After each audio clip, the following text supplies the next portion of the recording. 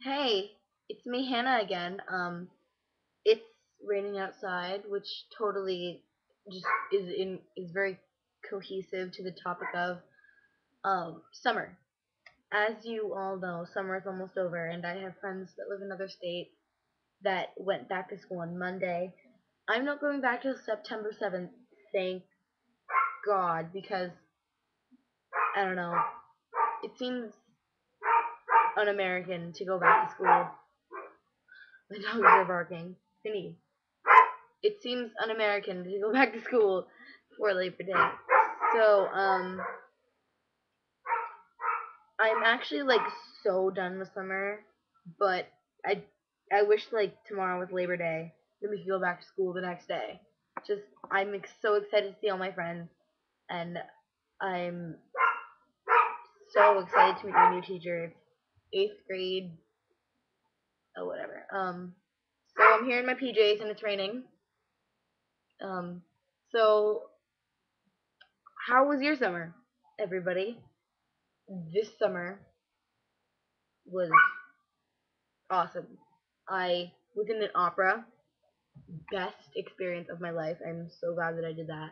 And I went whitewater rafting. I sang on top of a parking garage. Saw my computer teacher. I think that I'm the luckiest and most fabulous person in the world.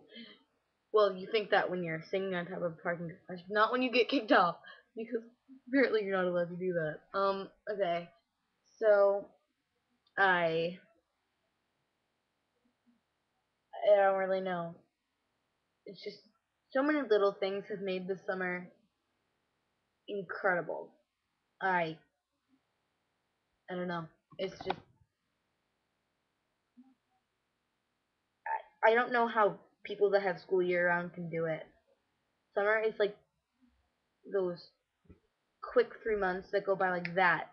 You can just let go and be complete, just go completely postal. It's scary but really fun. Um, so what'd you do this summer? I would love to know so next year I can create a summer bucket list. What to do, or over 90 things to do before the summer's over. Just believe me, I will go to the ends of the earth to try and accomplish this.